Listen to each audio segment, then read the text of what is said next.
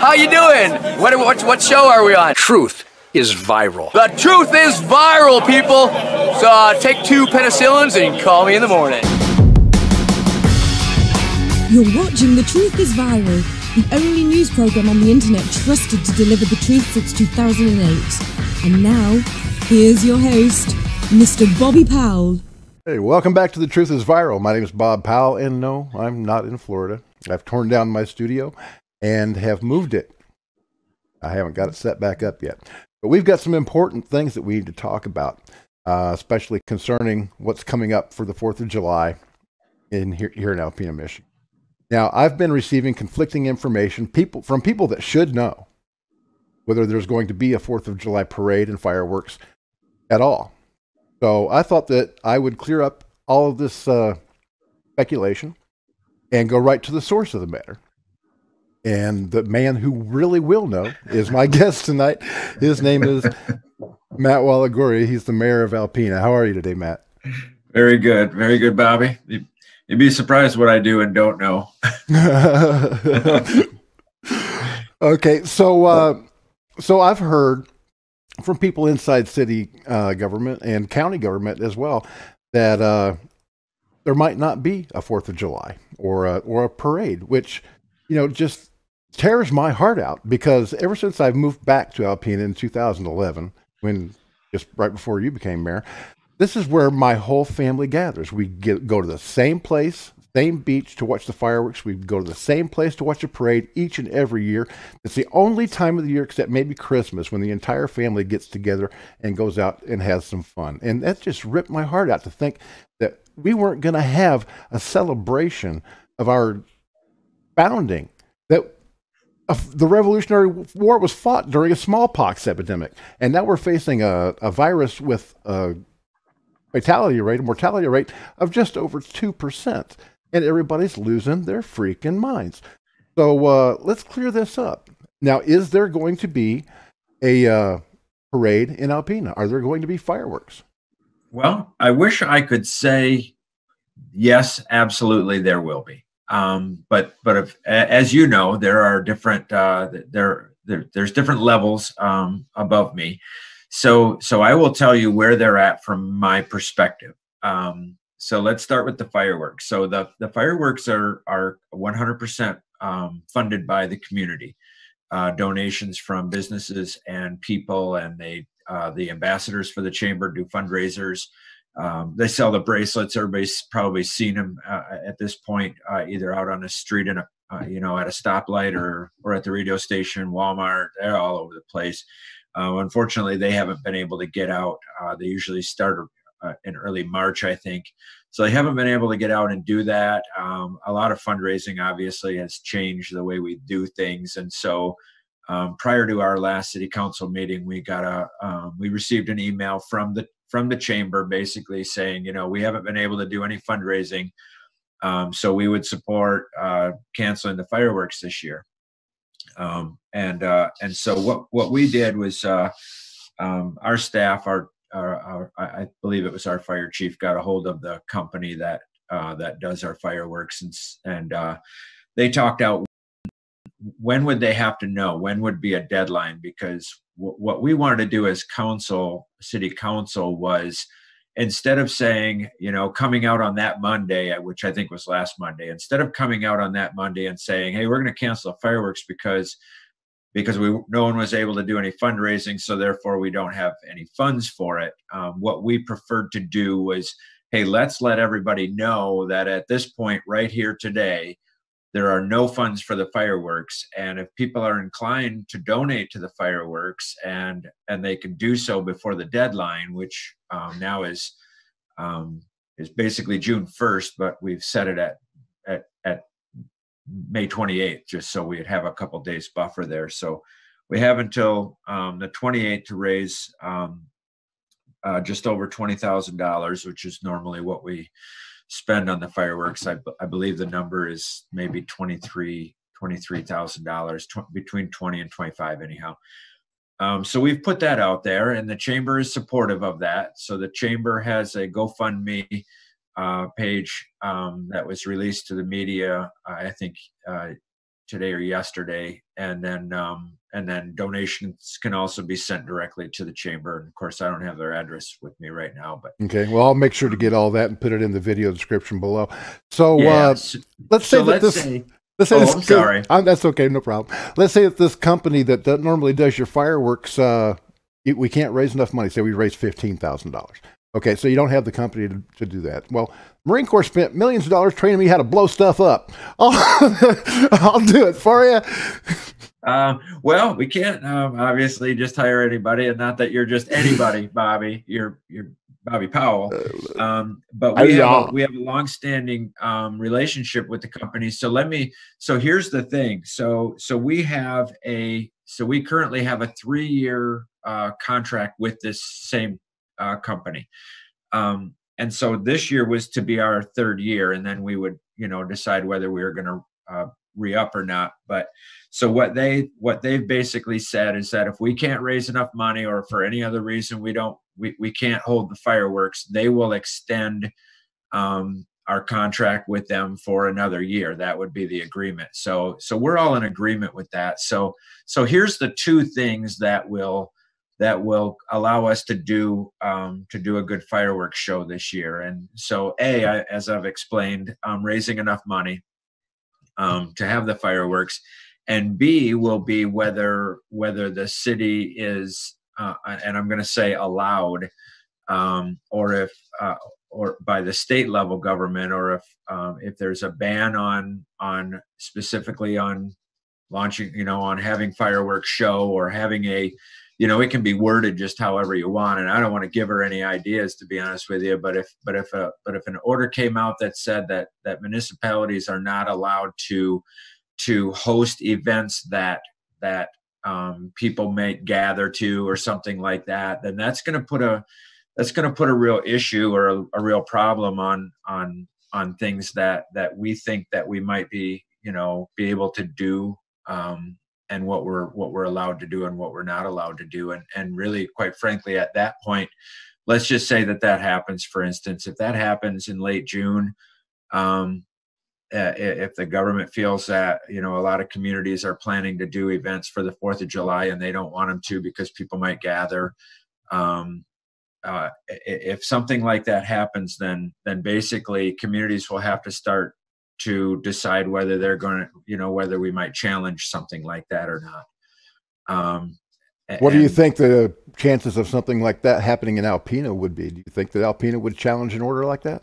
it's very difficult. Um, it, it's difficult. Um, a- and and as it was explained to our law enfor- uh, by our law enforcement, i- i- it's the issue is with our law enforcement. Okay, and, and I understand that there's sheriffs all over the state that are that are saying that they're not going to um, they're not going to uh, enforce some of the laws or or rules or executive orders or whatever you want to call them uh, that the governor's putting out um, that's difficult. Um, it's an election year, maybe. Maybe that's got a lot to do with it. Uh, I, I don't want to speak for them, um, but that but it's a pretty big challenge. Um, it's been done before with other laws um, over the years. This isn't the first time that a law enforcement agency has basically said that they're not going to enforce a law that the state that the state puts out. But um, so we'll just kind of have to see. Uh, we'll just kind of have to play it by ear. It, it really, it really depends. Uh, Um, again, I don't, I really don't like to put our our local city police department in a in a um, you know in a tug of war or, or a bad situation between what what the city government is telling them we want them to do and what the state government is telling them that they have to do. Um, we've talked about a little bit about the constitutionality of what the governor is doing, and until we can all have our opinions, but until um, someone of authority tells us that that yes, in fact, um, she's violating, you know, someone's constitutional rights or or civil rights or whatever, then um, then we're police department is really kind of responsible for upholding that. And so, Okay, well, just kinda- forgive me if I'm getting the chain of command wrong, but wouldn't you be the executive officer in charge of Alpena and in charge of the police department?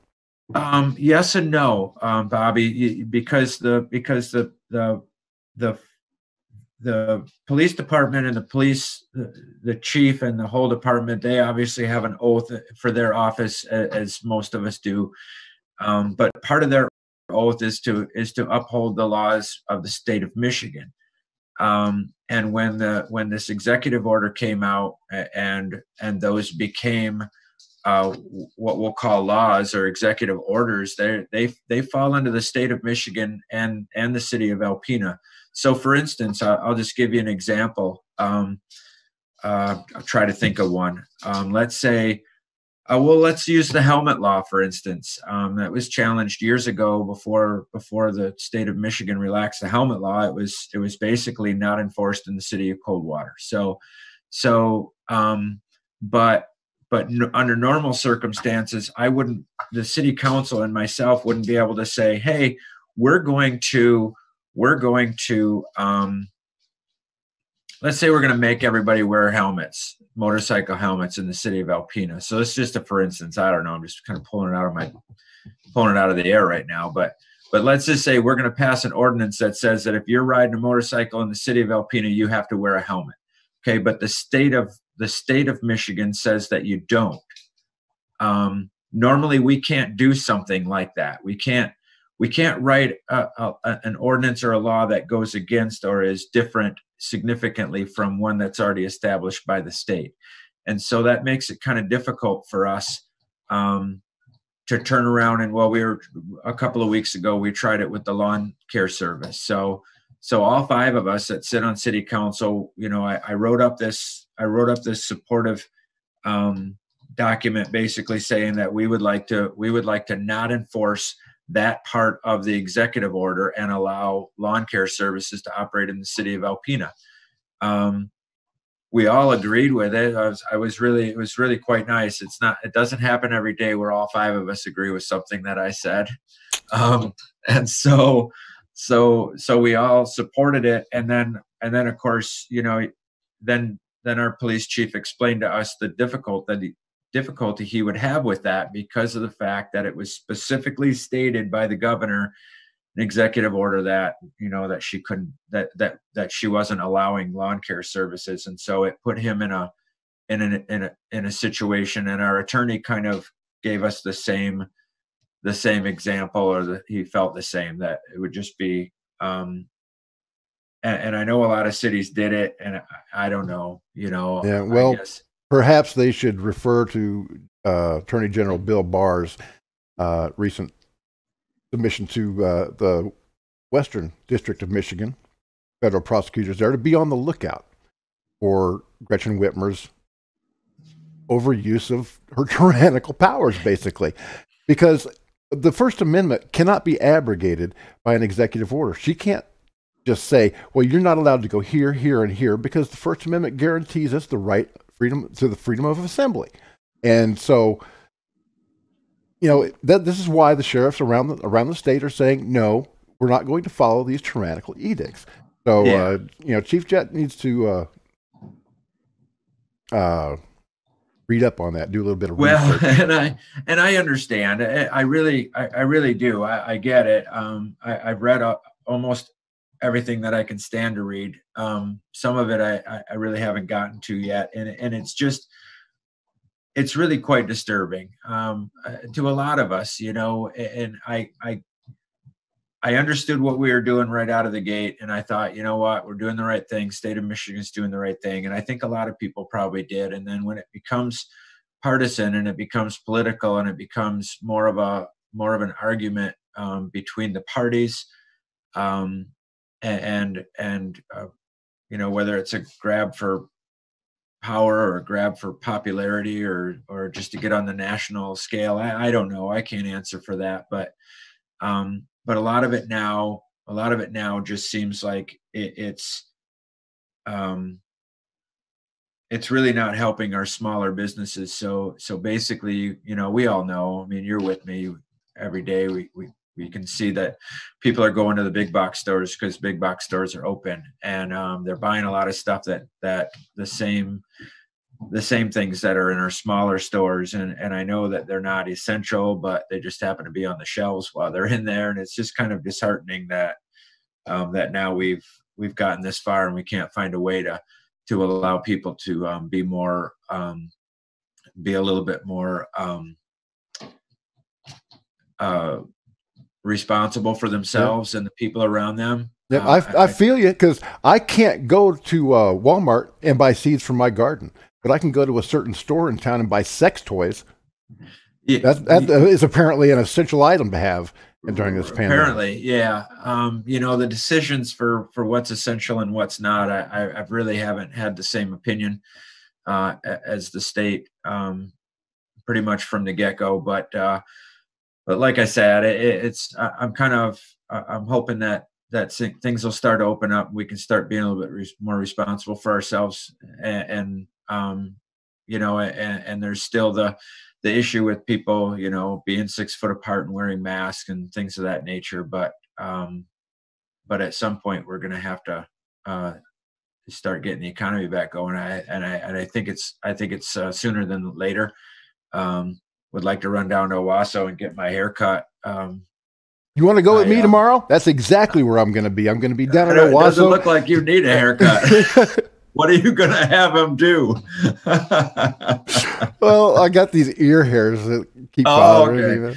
All right, I'm Uh, sure he can. In his uh, 30 years of experience, he could probably hook you right Yeah, up. But yeah, I'm sure we could find something. know, Okay, so here we are. We've got oh, I didn't things. want to get off track. No, that's I okay. mean to get off track. No, you're fine. You're fine. This is a great conversation. Uh, okay, here we are, uh, Fourth of July fireworks. Okay. Depending on uh, the government's executive orders, if uh, Governor Witchmer, Witch, Witchmer decides to uh, shut everything down, okay, that's one thing it depends on. Second thing it depends on is funding. And again, Right. I'm going to put the, the link to the GoFundMe for the fireworks fund in the description below this video. So if you want to uh, donate to this very worthy cause, because Alpena has the most outstanding fireworks every year.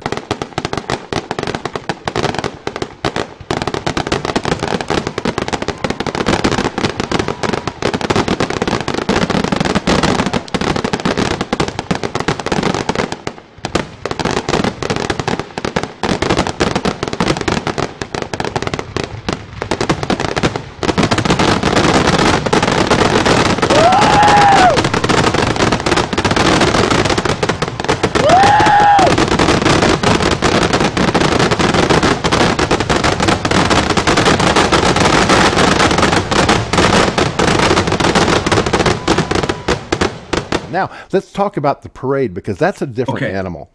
so Uh, the parade. who runs um, the parade?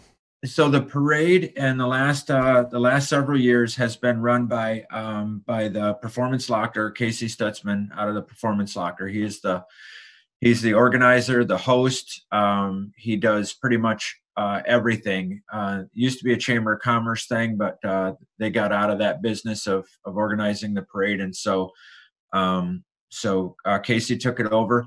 Uh, I have not spoken with him um, about it yet this season. I, I I really don't know where he's at with it. Uh, what they do is at the beginning of the year, it's my understanding that the permits are pulled for for every parade that's that's that's ordinary uh, throughout the year. So you got your uh, Fourth of July, Memorial Day, Veterans Day.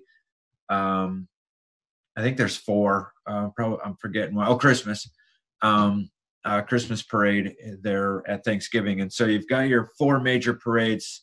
Um, they go on a they go on the agenda. We approve those uh, a consent agenda uh, in january. And so so the approval part of the parade for the parade is all is already out there. Um, now there again um, you know it, it's basically it, it I, I don't want to put i don't want to throw casey under the bus but as the organizer for the for the event he that is that's his or that's his event. Um you know if if let's just say and and there's a couple of scenarios for that too and unfortunately they they um, one doesn't suck and the other one does. Um, the other you know one i- i- is that casey decides he's going to do it and um, and and he's you know and, and he gets it together and the, and they have a parade and everything is generally normal you know so to speak um, you know maybe people are maybe at that point in early july people are asked to stay a distance from strangers and things of that nature who knows where we're going to be at at that point um, so he gets it together and and and the state allows it, then he's good to go. Now, if he gets it together and then come end of June, the state comes out and I'm and, says, you know, hey, uh, no parades. So no, no, nothing like that. That you know that that um, entices people to gather. And so then then we're going to have the same issue that we might have with the fireworks. Um, and there's really just no telling what what she might what she might say at that point you know and it may not you know maybe the governor might be maybe she'll get on board with legislature by then I, I don't know so i'm just going to say the state um, and if that happens, we'll be in the same situation. And quite frankly, I don't know if Casey's already decided that, that he's either going to have it or cancel it. I'm not sure. Um, well, I'll have to get a hold of him and ask him.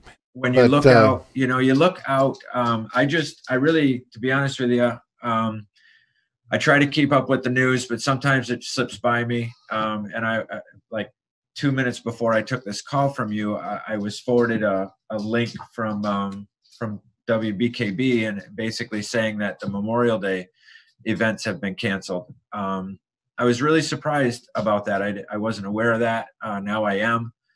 Um, and so what happens there is like you were mentioning with the Fourth of July, and I don't want to get too long-winded, but you got Memorial Day. That's that's a that's a specific organization puts more puts together the events for Memorial Day every year. Um, same with um, you know, same with Veterans Day, same with uh, Christmas same parade, same with the Fourth of July. Um, when these, when the organization comes out and says that they want to cancel it, see, that's never happened to us before, and so, so you might have somebody else that comes out, and let's say Fourth of July. Uh, let's say you call mm. Casey and he says that no, he's going to cancel it because it just seems like the right thing to do. And then you turn around and you say, you know what? I don't want it canceled. So I know, see, yeah. I know. I'll leave my own parade already. So same thing with Memorial Day. You know, it's apparently it's been canceled, and I've had a couple people reach out to me that they would like to do that they would like to do the event. Yep, they've reached out um, to me as well, and I'll be publicizing that event. And so here, here's time. the here's the issue um, that I have to I have to look into because this is kind of new to me. So I have to look into the you know the if a permit is if, if a permit is put out for for someone to hold a parade and it's under someone's specific name or someone's organization how does that does that permit transfer to somebody else that might want to do it? Or does it have to start over at square one and come to council and be reapproved? Um, I, I, don't i don't really know. I wish i had that answer but um, but it kind of jumped at me like two minutes before i took your call so yeah. i'm not really sure Okay, well, between you and me and uh, the organizers of these events, I'm sure we can find out some way to get around uh, the Wicked Witch of the South down below.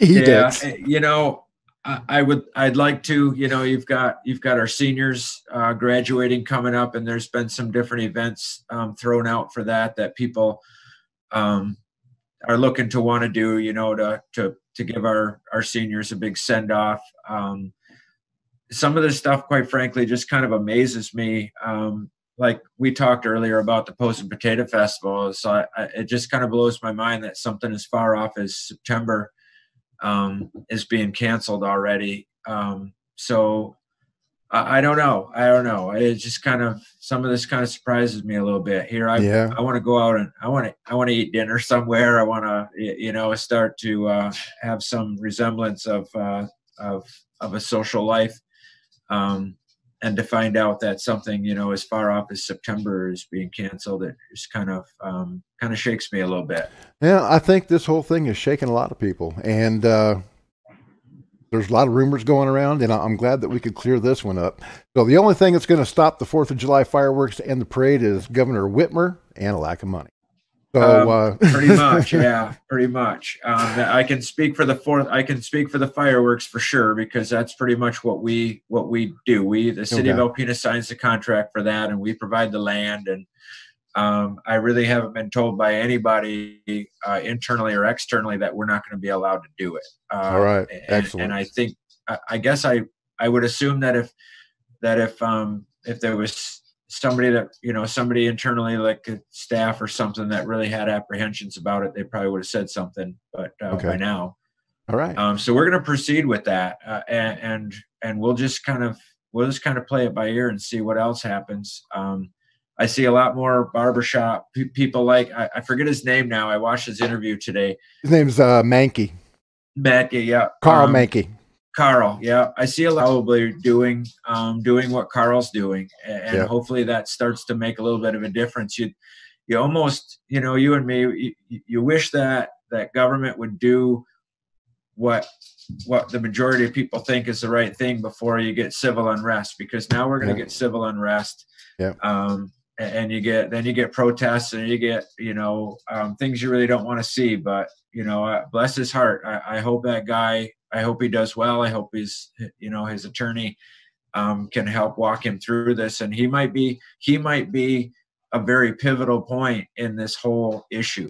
Matt Waligoria, the uh, mayor of Alpena, thank you so much for being on the Truth is Viral and helping me clear this stuff up. And uh, do remember to keep me in your in your thoughts so that whenever you find out something new, then we can uh, get that information out and everybody will be uh, up to date on the real scoop. All right. Thank you, Bobby. Thank you, sir. Have a great day.